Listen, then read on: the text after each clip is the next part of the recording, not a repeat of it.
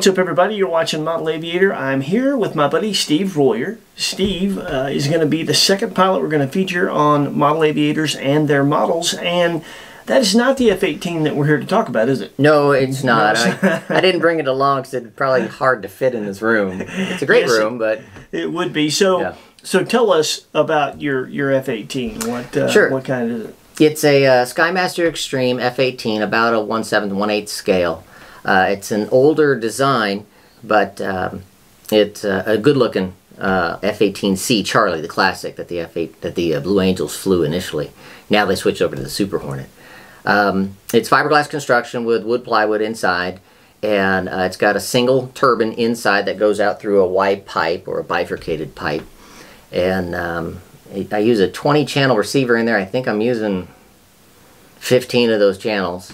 It's got smoke, gear, brakes, flaps, Nice. ailerons, all the toys, lights, afterburner rings, scale cockpit. Yeah, it's it's pretty sweet. It looks good in the air. It it does, and you're going to see it in the air for sure. But we thought we'd interview Steve first. Sure. So, uh, what's this airplane weigh? It weighs about 31 pounds dry, and then when I fuel it up, it takes about a gallon of um, diesel fuel. You can run kero, Jet A, or diesel. I happen to run diesel. And then with smoke oil on top of that as well. So it weighs about 42 pounds wet, ready to fly. And how much thrust? It's got 31 pounds of thrust. So about a three quarters, Okay, Yeah. so three quarters percent. so you're a lot closer when you're low on fuel to one to one, but still not quite there. Correct. So in that case, you just have to manage your energy and get your energy up before you do a big vertical maneuver. Yeah, and you do a good you do a good job. So tell us about the process. You when you first got this airplane, you struggled with it a little bit, and then you did some things to it. Now you got it flying pretty much on point. What'd you do? Right. I found, I went online and found a bunch of other guys, about five other people that had the same airplane, and tried to compare what I was seeing and what they were seeing. And the airplane had a tendency, you'd bank it over and the nose would drop. It, it, it would land really hard and it, it just seemed heavy. So, following the manufacturer's instructions, which aren't much, uh, we were flying it per those specifications and it just felt nose heavy. Now, you said how old is this airplane again? I think it was initially designed back in the 2000s. Okay, so yeah, that's a tw- almost a twenty year old airplane then. Yeah, yeah, it, it's older. Okay. So, um, and it's it's uh, Skymaster Extreme, which is their semi-scale, so it's not as precise as their professional models that they make now. Um, uh, but eh, long story short, so the instructions I found in turbines, they're very thin. I started out building a, uh, a Great Planes Trainer 40 in the mid '80s with wood glue, no less. I didn't know about CA. right. And that instruction manual really taught you a lot. Well, at the turbine phase, a lot of people figure that once you made it to the turbines, you kind of know what you're doing. But you still need CG and, and things like that. Well, the CG point on this airplane, it felt really nose heavy. Mm -hmm. So, which is appropriate for this channel.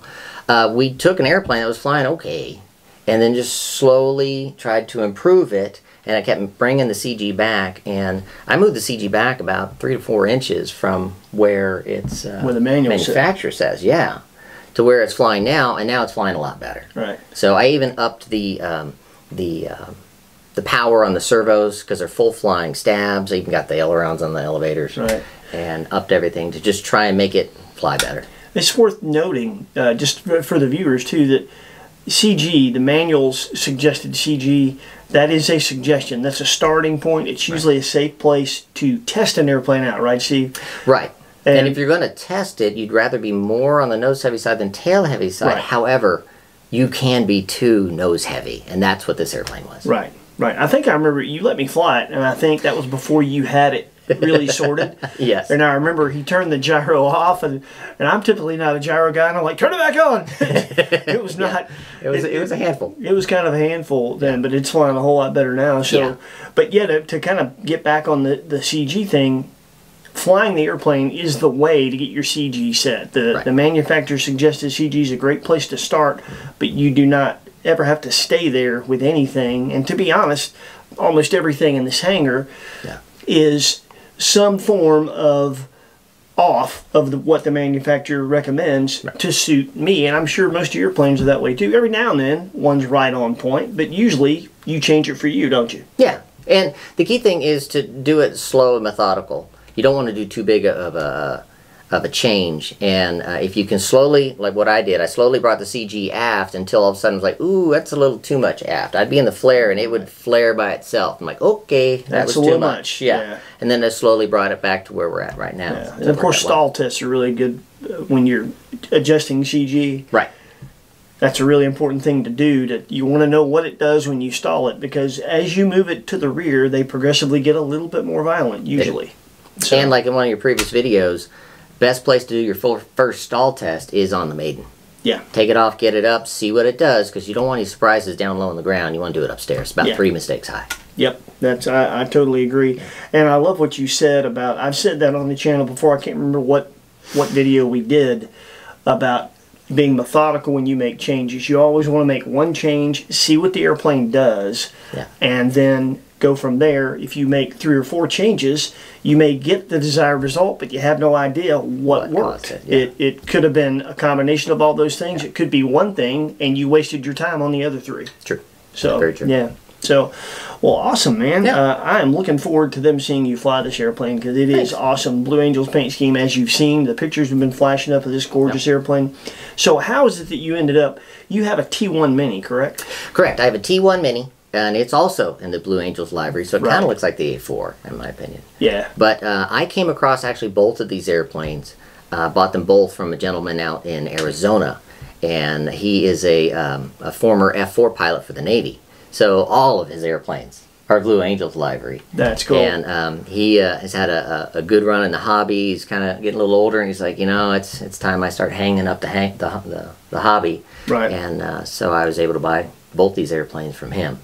Worked That's out real awesome. nice. And they're keeping both them flying gorgeous. I mean, that Yeah. Blue Angel paint scheme is just awesome. So, well, I got two other questions while I Yeah. have you here because you've got a lot of experience. First thing, when it comes to to that Skymaster being 20 years old, was it intended for turbine originally, or was this a ducted fan model at first, and then you just it was converted to turbine? That's a good question. I'm not really sure the answer to that. I think this was always a turbine. Okay. Um, Being that weight, I would think so, because 20 years ago, right. two ducted fans that could haul a 30 plus pound airplane, I don't know if you could. I remember seeing my first turbine back in the early 90s, 92, 94. And it was Bob Violett flying, I think it was the JPX propane powered turbine. They had to use a scuba tank to get it started. It was, you know, and they'd throw those into his ducted fan models. Gotcha. And it was a lot of uh, ground work and maintenance. Yeah. as far as just getting the thing to run. Right. Nowadays, it's fully FADEC, digital control, just hit start. It goes through the whole start sequence. When you're done, it goes through the whole cool down sequence. Uh, we've really come a long way in the electronic side of the turbine technology, Yeah. and the turbines And, man, nowadays I, run great. I so appreciate you bringing the first turbine to the channel. This will be the first turbine we featured on Model Oh, yeah. Aviator, so that's that's, Cool. that's pretty cool. um, and so finally, while I've got you, and this is something that a lot of the EDF people are going to want to know. Certainly, Uh-huh. something I'm curious about to pick your brain. I've flown Foamy's EDFs with you. Uh, you and I both have composite EDFs that are like 8S and over 150 miles an hour. And you've got a couple of turbines. Right. So Tell me about the progression of that from a piloting standpoint. What is the difference in a foamy EDF, a composite EDF, and then when you get into turbines?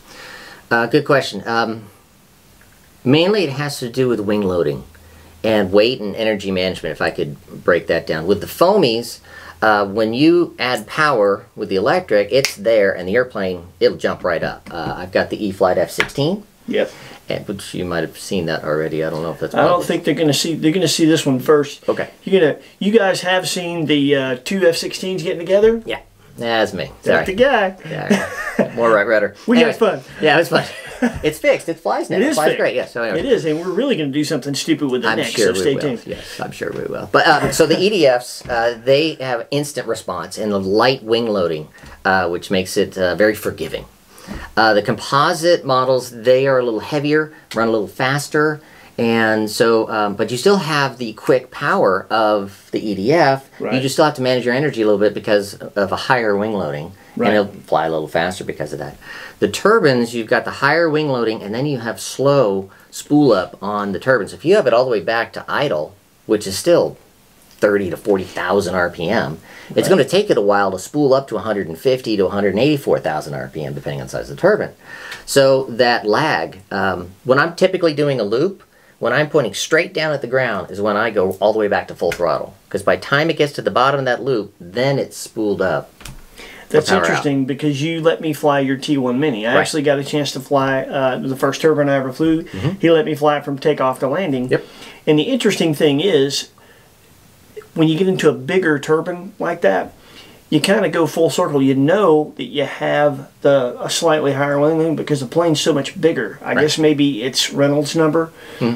The the bigger turbines I notice land more like a foamy EDF. They actually land a little bit easier to me than a composite EDF does. Yeah, when Uh, you start to get into the large turbines, the real expensive Yeah. ones, you still need the same turbine, the ECU, the receiver, the batteries. A lot of those things are the same, but if you can put it into a larger airframe, your wing loading goes way down. Yeah. So the larger Havocs, the full size Havocs, the Right. big Avanti XL, XXLs, uh, the Viper XXLs that are running like the 300 Newton turbines, Yeah. which we have out at Georgia Jets. Right. Uh, those things land slow as all get out. Yeah, it's crazy. But I- you get some of the smaller ones like the the BVM Bandits, Yeah. which are all that same stuff in a smaller package. It's just like still a really, faster. really, yeah, it's like a really, really fast composite EDF that doesn't respond as good. And that's the other thing I, I remember about the T1 is I've gotten used to like the Avanti and the F16 stuff like that, where you hammer that throttle and it gives you instant thrust, and it really does. It was alarming to me how long it took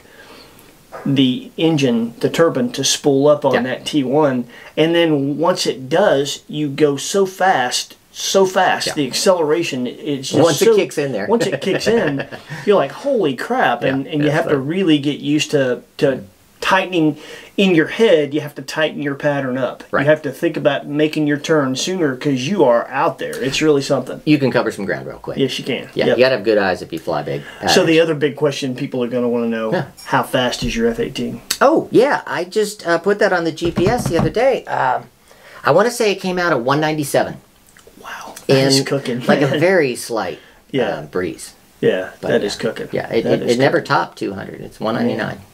But Well, man, we, but no, we have learned a lot about um, the differences in EDFs and, and your uh, your gorgeous Skymaster F-18. So the only thing left to do now is let Steve strut his stuff.